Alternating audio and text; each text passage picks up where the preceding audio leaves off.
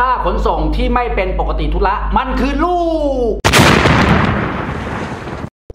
ค่าขนส่งคือลูกเดินตามแม่ ขนส่งที่ไม่ใช่ปกติธุระก็คือ การขนส่งที่ไม่ได้เป็นอาชีพหลัก แต่ทำการขนส่ง โดยให้บริการกับลูกค้าที่มาซื้อสินค้าหรือบริการของตนคนอื่นมาจ้างให้ขนส่ง เราไม่ขนส่ง เราจะขนส่งเฉพาะลูกค้าของเราเท่านั้นถ้าเกิดคุณขายสินค้า